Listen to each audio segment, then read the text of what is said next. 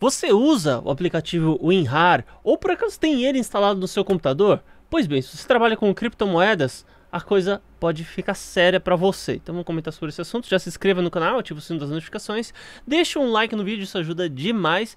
Então, olha só, a equipe do Xuan, Xuanjiu 404 de, detectou que a Coreia do Norte está criando novas células de ataque cibernético que buscam lucrar, lucrar com criptomoedas.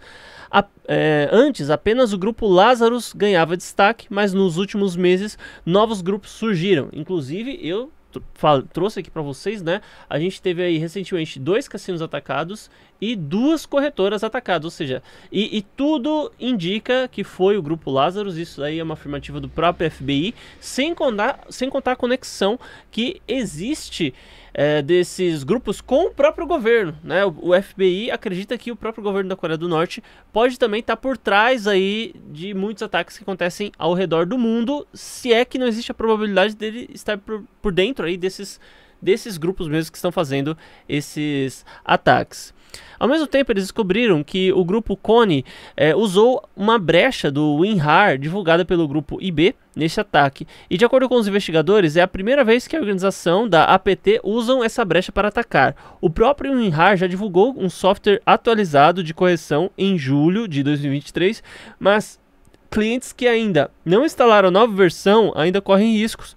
Além de criptomoedas, o vírus associado ao WinRAR busca dispositivos de traders em geral. Os perseguidores de segurança cibernética podem, é, pedem que a comunidade de hackers do bem estejam atentos a novas ameaças e ajudem a proteger o ecossistema. Então a ideia, né? O, que, que você faz? Pô, eu não sei se o meu está atualizado ou não. É, tem a opção de atualizar pelo próprio Windows, mas se você tiver dificuldade, de, desinstala o WinRAR. Vai lá no site oficial baixa e instala de novo, que daí você tem certeza que você estará com a versão é, mais atualizada.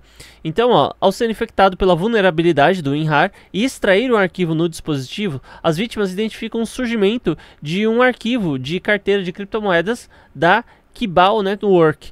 É, ao clicar no arquivo, que se apresenta como uma imagem de captura de tela, o dispositivo recebe uma carga de arquivos maliciosos e o ataque busca identificar carteiras de criptomoedas ou acessos de traders para roubar informações. Com a revelação do caso, tudo indica que os traders de criptomoedas e do mercado financeiro em geral devem se manter atentos aos dispositivos que utilizam para suas negociações.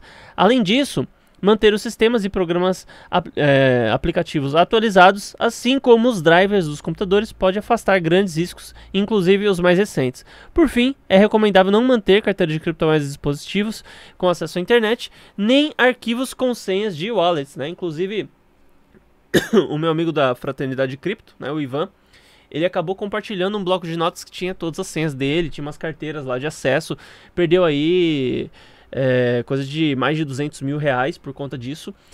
Então, gente, é, lugar de criptomoeda não é na corretora, é em carteira.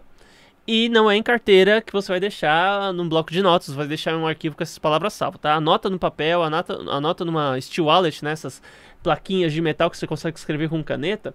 Você anota e você vai ter a melhor opção de segurança possível. Agora, em relação ao INRAR, você tem no seu computador?